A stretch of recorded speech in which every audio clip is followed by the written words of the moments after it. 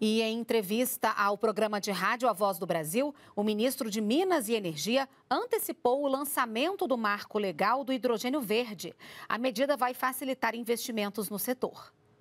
O Brasil é exemplo no que se refere à, segura, energia limpa. O Brasil está hoje onde a Europa quer estar daqui 15 anos.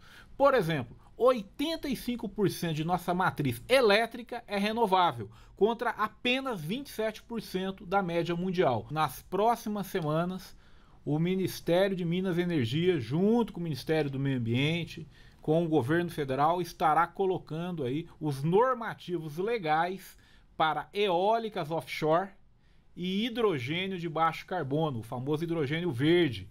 Ou seja, nós vamos trazer ter todo o marco legal para você poder investir com segurança no Brasil. E investir com segurança, com previsibilidade, quer dizer o seguinte: mais emprego, mais renda para toda a nossa sociedade.